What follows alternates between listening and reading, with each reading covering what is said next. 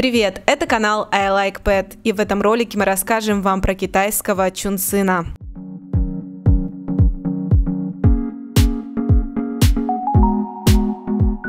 Китайский чунсын, или как его еще называют китайский бульдог, редкая древняя порода собак. Ее история насчитывает практически 2000 лет. Издавна в Китае представителей породы использовали для охраны дома и помощи в охоте. Сегодня китайские чунсыны ценятся заводчиками не только за свои отличные рабочие качества, но и за добродушный и преданный характер, который делает их великолепными домашними питомцами. Эта порода называется китайский чунцин. Это аборигенная порода, завезенная из Китая. Они такие же аборигены, как и тибетские мастифы. И они являются охранниками и э, охотниками за, ну, за некрупной дичью.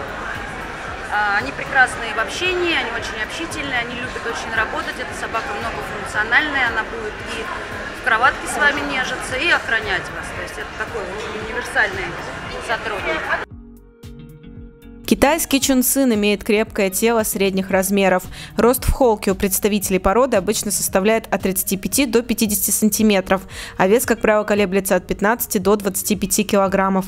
Китайские чунцины – собаки однотонного коричневого окраса. Допускаются разные оттенки.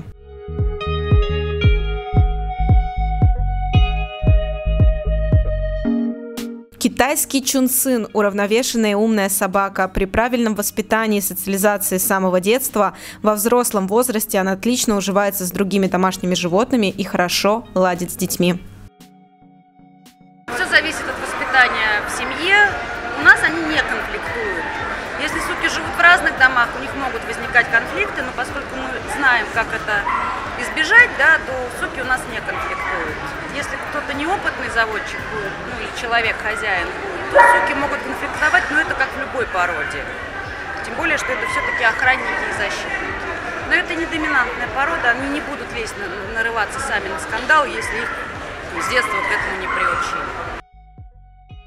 Уход за китайским чунцином не доставляет особых хлопот. Необходимо следить за состоянием глаз, ушей и зубов животного, вовремя чистить их. Особого внимания также должны быть удостоены морщины собаки. Их нужно постоянно проверять на наличие загрязнений. Китайские чунцины рождаются либо с короткой шерстью, либо совсем без нее. Поэтому в зимнее время на прогулке собаку нужно одевать в теплую одежду.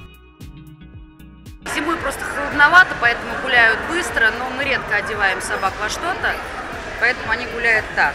Если в городе, то желательно мыть лапы, потому что химические ожоги, они вообще без шерсти.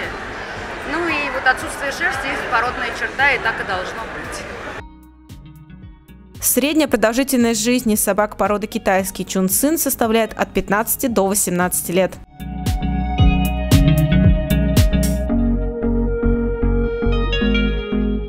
О других интересных породах вы можете узнать на нашем сайте. Подписывайтесь, читайте и смотрите нас. Мы также представлены в социальных сетях. С вами был ilike.pet. До новых видео!